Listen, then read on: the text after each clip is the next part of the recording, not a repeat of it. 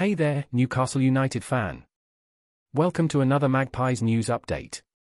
But before we dive in, I'd like to ask you to subscribe and hit the notification bell so you don't miss any Newcastle United videos we bring here. Let's get into the details. The press conference was delayed for over two hours due to an issue with the flight, which remained grounded on the runway. However, our coach, Howe, mentioned that despite the delay, preparations for the game continued on the plane with the team analyzing tactics.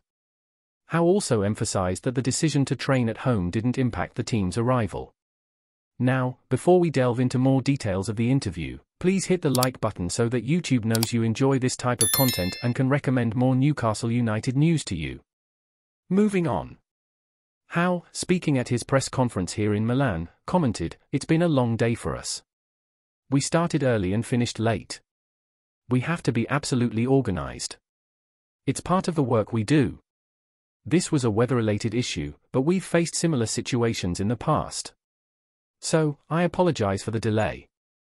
So, Newcastle United fan, what are your thoughts on all of this? Please share your opinion in the comments, as your perspective is very important.